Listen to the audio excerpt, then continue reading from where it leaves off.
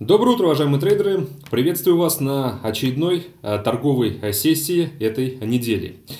Буквально один шаг у нас остался до долгожданного события, без привлечения, будет сказано, не только последней недели, а может быть даже и всего квартала, это ЕЦБ. Почему? Потому что в этот раз, помимо э, традиционного заседания, мы все-таки ожидаем то, что Европейские монетарные власти порадуют нас как трейдеров, участников э, финансовых рынков э, очень значительными, значимыми для перспектив евро событиями. И под этими значимыми событиями мы, конечно же, подразумеваем возможность дополнительных мер экономической поддержки либо через снижение процентной ставки, либо через более агрессивный выкуп активов. В общем, сценарий, э, их несколько, есть основной, есть альтернативный, но в целом они все подразумевают то, что ЕЦБ Э, должен э, проявить, э, наверное, логичную и объективную мягкость и все-таки оказать содействие, поддержку для национальной экономики. Потому что, судя по тем отчетам, которые мы с вами анализируем в последнее время, прошлых экономических стимулов явно недостаточно. И основной параметр у нас здесь выступают уже показатели индекса потребительских цен. Вы помните то, что все, что касается сейчас действующей программы количественного смягчения, это Э, то, что было направлено на разгон ключевого показателя по инфляции до целевого значения в 2%. Но я думаю, что об актуальных значениях этого индикатора вы уже осведомлены. Вы знаете то, что э, даже плюсовых уровней сейчас нет. Мы констатируем исключительно дефляцию и логичный вывод, то, что прошлые стимулы не работают, значит нужно предпринимать что-то еще. Поэтому очень много мы за последнее время накопили статистики, данных, объективных факторов, э, указывающих на то, что это событие событие, то есть завтрашнее событие, один день остается, может оказаться весьма интересным и, соответственно, судьбоносным для перспектив главного валютного риска. И я думаю, что если мы дождемся все-таки этих решений, э, резонировать будет не только евро. По принципу цепных реакций э, очень много, скажем, последствий и весьма выраженных, динамичных будет и э, в других активах. И не только рынка Форекс, но и фондового тоже, потому что компании будут переиначить собственную капитализацию через возможные последствия подобных стимулов и влияния, собственно, их на экономику. Но ну, давайте подробнее все-таки поговорим о евро тогда, когда переключимся на перспективу пары евро доллар сейчас у нас есть привычный сценарий, э, который мы стараемся соблюдать каждый брифинг, и этот сценарий подразумевает то, что нужно начать все-таки с динамики нефти, поскольку это традиционный вступительный актив, да и в принципе по нефти, конечно же, есть о чем поговорить, учитывая то, что мы видим в рамках этого актива. Хочу также отметить еще, что в ходе сегодняшнего брифинга, ну, никак не могу оставить вас э, без э, бонуса, потому что событие стоящее, волатильность будет бешеная, и э, лучше, самое малое, что я сейчас могу сделать, это попытаться, скажем, создать условия, которые могут повысить покупательскую способность ваших депозитов. Величина бонуса сегодня 13%, не такой, конечно, конечно же, высокий, как я давал в понедельник, но все-таки тогда был еще и праздничный повод. Поэтому, наверное, вопросов сейчас э, из-за того, что он поменьше возникать не должно. Бонус, напоминаю, на пополнение 300 долларов действует он до следующего брифинга. Но следующий брифинг у нас пройдет уже только в понедельник, потому что а, завтра в Екатеринбурге в 19.00 а, состоится по местному времени а, традиционный семинар.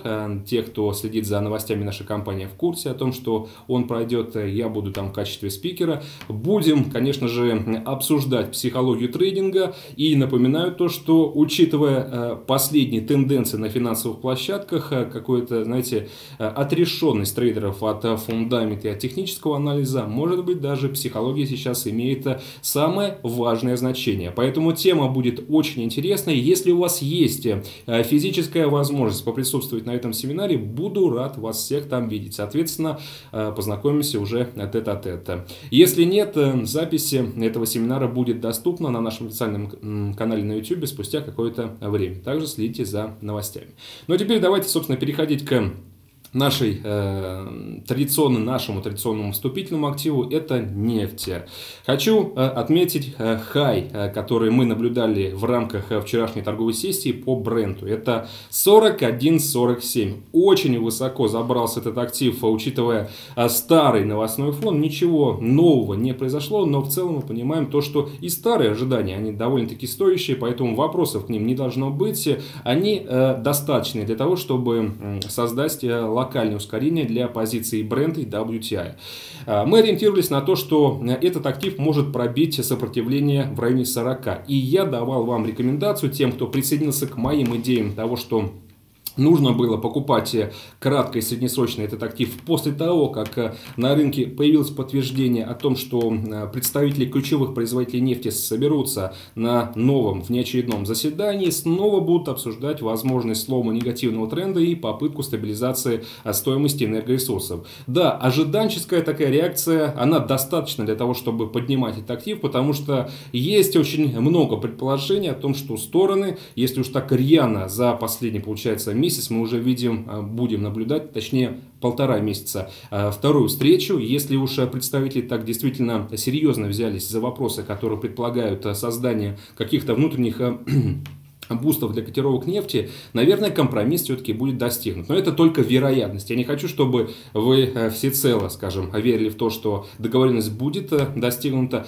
Э, это только, скажем, фон в формате ожиданий. И этот фон сейчас вполне достаточен, чтобы продолжать кататься в плане роста по бренду. Может быть, даже попытаться закрепиться еще выше уровня 40 долларов за бар. Тем более, что до встречи еще больше недели. Напомню, она пройдет 20 марта. До этих э, пор, конечно же, бренд может э, забраться еще выше. Но напоминаю э, прежние рекомендации. Мы ориентировались на 40, добрались до этого значения, и я все-таки дал совет после того, как мы доберемся до этого уровня, зафиксировать профит и покинуть расположение этого актива, потому что прибыль уже достаточно, лучше уже посмотреть за итогами возможной встречи, потому что э, влияние на котировки нефти будет колоссальным, точно таким же, как и влияние ЕЦБ на перспективы э, пары евро-доллар. Поэтому, если вы на собственный э, страх и риск сейчас продолжаете торговать э, брендом, э, хочу сказать то, что краткосрочно и среднесрочно есть возможности забраться выше. Но это уже очень опасно. И, наверное, лучше довольствоваться тем, что дает рынок. 40 это уже прекрасный уровень, даже актуальные котировки 39-38, но можно, конечно же, подождать, если вы все-таки эм, промедлили с выходом из этого актива, снова возвращение в район 40 и уже покинуть этот актив.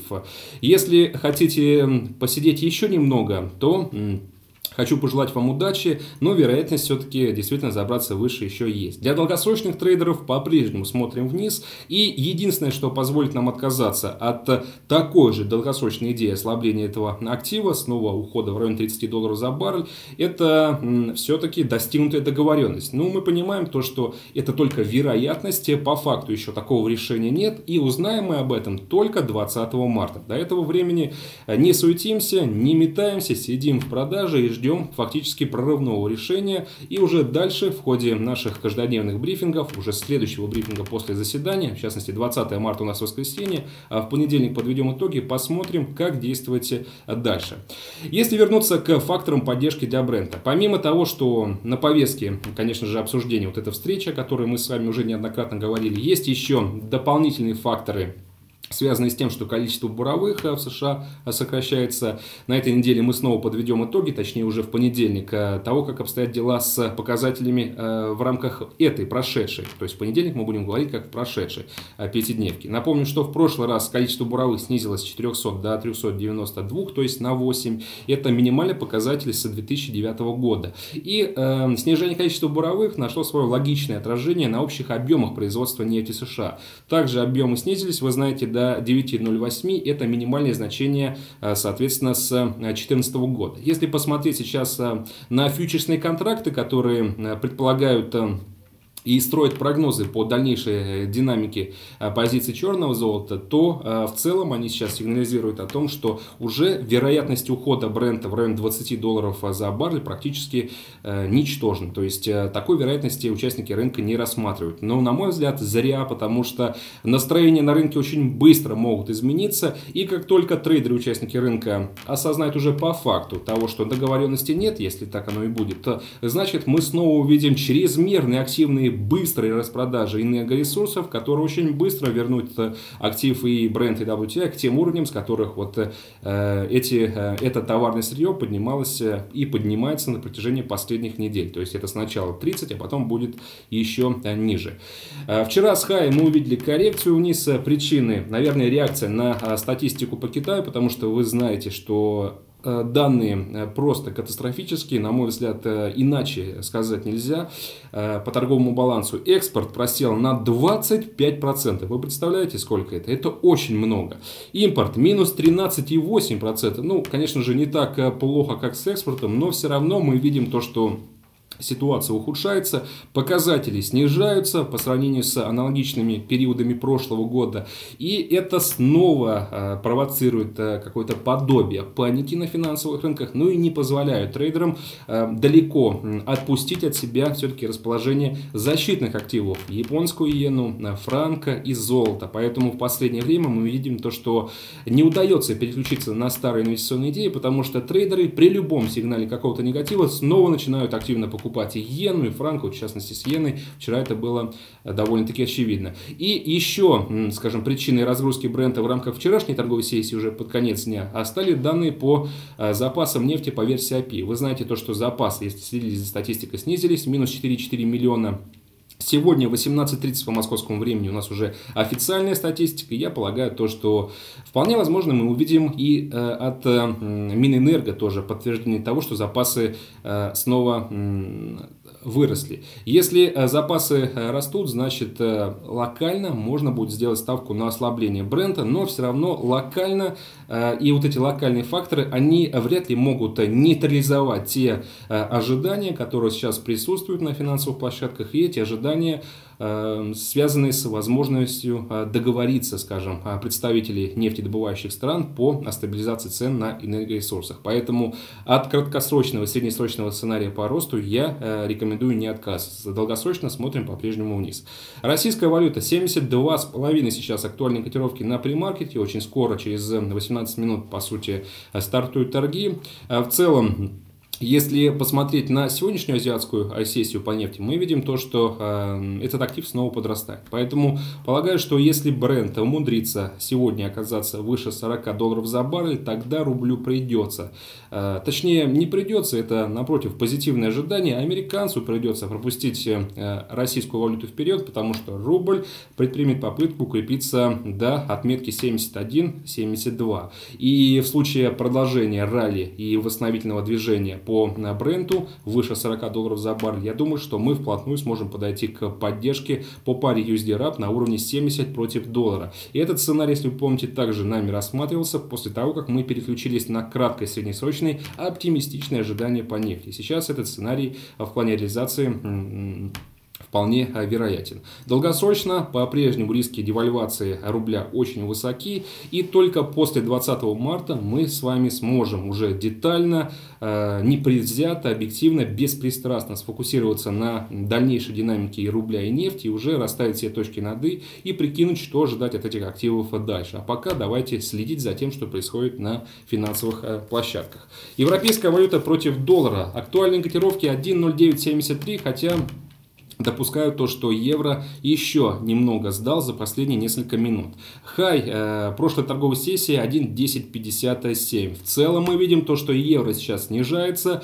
Э, спекулятивное ожидание в преддверии ЕЦБ сейчас э, на первом месте. Статистика второсортный характер, потому что более крутого новостного фона, чем предстоящее заседание Европейского Центрального Банка, сейчас нету. Долго мы ждали, спекулировали на этой теме, сейчас уже вплотную подошли к этому долгожданному э, событию. Завтра оно уже состоится, поэтому, э, разумеется, ни в коем случае не упускайте возможности поспекулировать на потенциальной слабости главного валютного риска. Э, может быть сейчас э, такая полярная позиция касательно того, что ЕЦБ не предпримет никакой мягкой решительности и, соответственно, не анонсирует никаких изменений. Э, рынок не получит то, что хочет, и, соответственно, евро улетит в космос. Конечно же, такая вероятность есть. И, может быть, даже если прикидывать по процентам, по, спрогнозировать возможность такого исхода, то можно остановиться на какой-то конкретной цифре. Безусловно, такая возможность есть. Но если говорить логично, опять же, и пытаться э, сделать такие же логичные выводы по тому фону, который мы наблюдали в последнее время, все-таки вероятность того, что ЕЦБ э, либо снизит процентную ставку по депозитам, либо расширит программу количественного смягчения, куда выше. А поэтому, если у нас есть э, перевес по вероятности все-таки в сторону решительности со стороны европейского регулятора, я не могу позволить себе сделать э, ставку на рост главного валютного риска. Поэтому и вам рекомендую рассмотреть с большей вероятностью именно возможность распродажи европейского актива.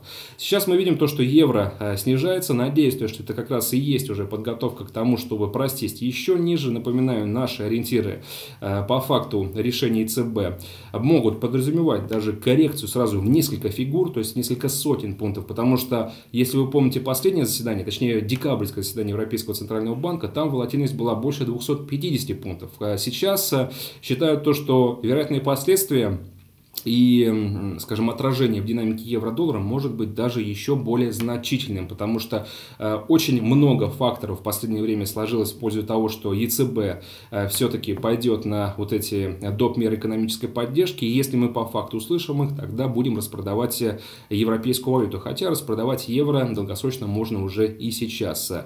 Э, полагаю то, что к концу года по-прежнему сохраняется вероятность того, что евро сможет против доллара уйти в район паритета. Но прежде чем э, мы дождемся каких-то э, стимулов, то есть нам нужны какие-то сигналы для подтверждения вероятности этой идеи, и эти сигналы могут быть анонсированы уже в ходе завтрашней торговой сессии. Вчера евро подрастал еще в первой половине дня по факту выхода хороших данных по ВВП, хотя я, честно говоря, не прогнозировал такого позитива и даже сейчас скептически отношусь к нему. Квартальный 0,3%, в принципе, как и ожидали трейдеры, как и ожидали эксперты рынка. Этот показатель держится уже долгий период времени. Что касается годового, то здесь прирост на 0,1%. 1,6 против прошлого 1,5. Непонятно, откуда был взят подобный позитив. Полагаю, что статистика неадекватная, потому что э, в рамках валютного блока, ну уж э, явно сейчас не стоит настраиваться на какой-то позитив фундаментального характера, и тем более логично было бы его не наблюдать в рамках ключевого показателя, то есть э, динамики экономического роста, экономического расширения ВВП. Поэтому эту статистику, скорее всего, эти данные пересмотрят в негативную сторону. Ну а мы будем и дальше готовиться к очередной порции слабых отчетов и использовать э, этот фонд для еще больших, еще более динамичных и убедительных распродаж евро.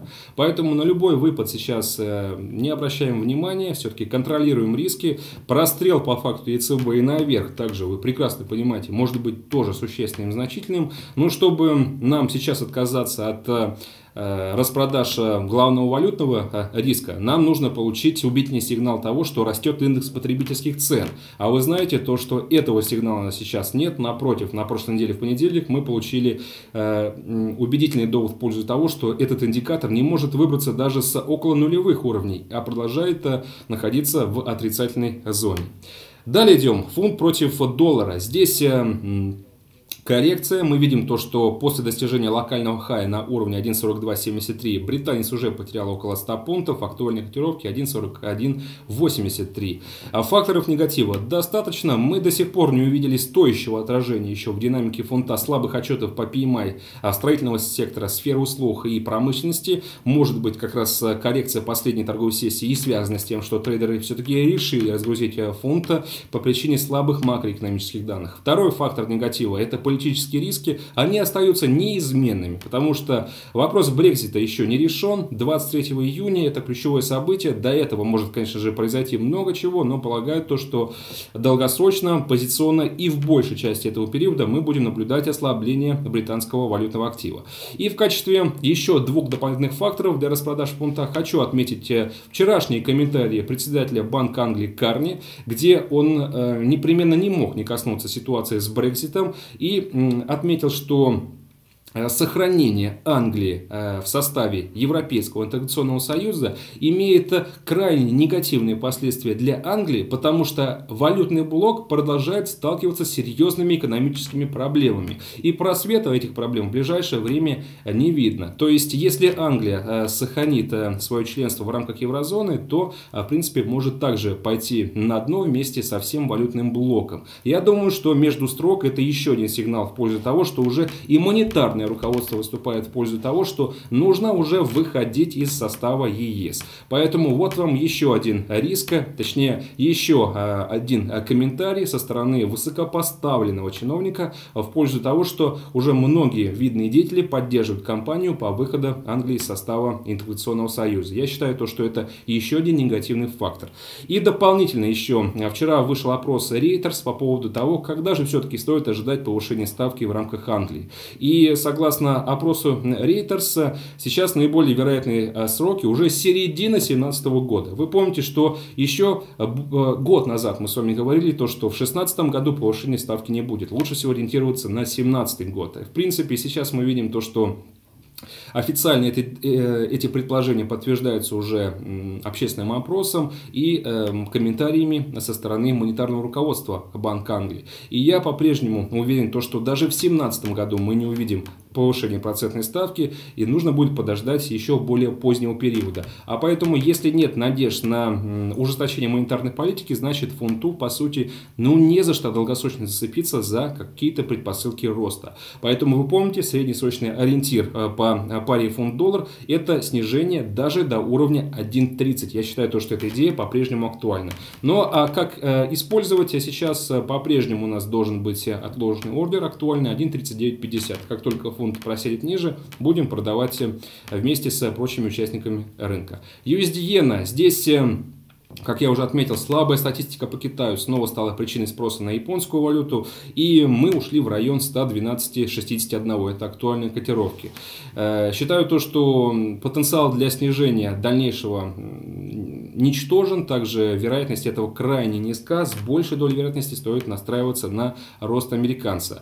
Э, в качестве факторов э, все-таки приближающееся заседание ФРС, конечно же, мы уделим ему очень много времени, как только оно будет у нас на повестке обсуждения. Но пока все-таки, если ссылаться, опять же, на комментарии представителей последних, э, последних комментарии голосующих членов ФРС, у нас есть вероятность услышать какие-то жесткие намеки. Не обязательно сразу же повышение процентной ставки, но намеки на то, что это допускается, возможность подобного сценария рассматривается, этого будет достаточно для роста американца. И э, вы помните, в понедельник я ориентировал вас на конференцию вице-президента председателя ФРС Фишера. Э, и э, в целом, э, что мы услышали по факту его выступления? То, что на текущий момент американская экономика как никогда близка к полной занятости и, соответственно, уменьшение свободных ресурсов на внутреннем рынке является фактором, который будет подстегивать потребительскую активность. А вы знаете то, что рост потребительской активности это как раз то, что будет толкать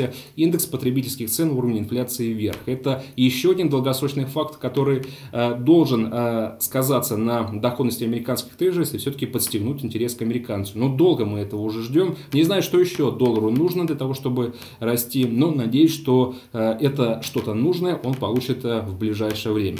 Пару слов еще хотел сказать про USD Swiss. Снова мы касались паритетного значения. Сейчас у нас актуальные котировки 1.09981, хотя допускают также, что и здесь немного уже прибавили.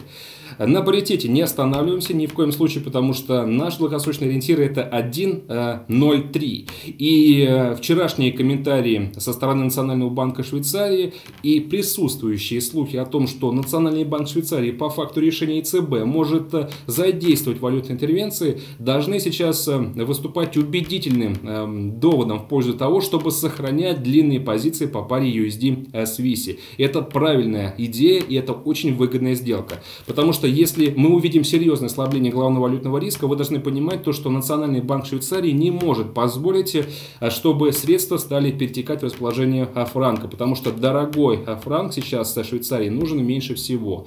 Для того, чтобы поддержать конкурентоспособность национальных производителей, НБАШ также пойдет на экономическое стимулирование через валютные интервенции и будет сознательно собственными силами ослаблять франк. И это ослабление будет также очень стремительным. Поэтому 1.03 при знаете, самом оптимистичном сценарии я полагаю то, что мы сможем добраться до этого рубежа чуть ли не уже в ближайшие там несколько дней. Но как будет обстоять дела на самом деле, давайте смотреть.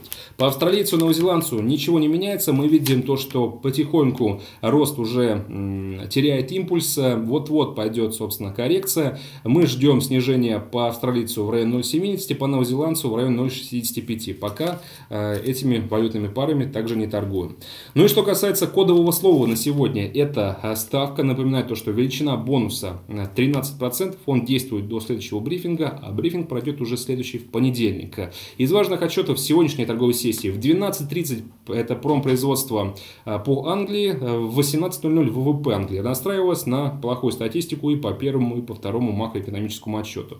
В 18.00 еще решение по ставке Канады. Никаких изменений, разумеется, не произойдет. Полагаю то, что куда с большим интересом нужно будет обратить на формулировки после этого со стороны э, представителя э, Канады, председателя Банка Канады Полза. И считаю то, что эти формулировки могут создать доп. сигнал для долгосрочного ослабления канадцев. Но об этом мы поговорим с вами уже в понедельник. И в 18.30 по московскому времени запасы нефти США от Минэнерго в целом, так же как и API э, настраиваемся на рост э, показателя. Если, соответственно, запасы вырастут, то э, черное золото может оказаться под небольшим давлением. И еще раз повторяю, что это небольшое давление вряд ли сможет продлиться долго, потому что ожидания долгос... встречи представителей ОПЕК и России, они по-прежнему с точки зрения позитива куда сильнее.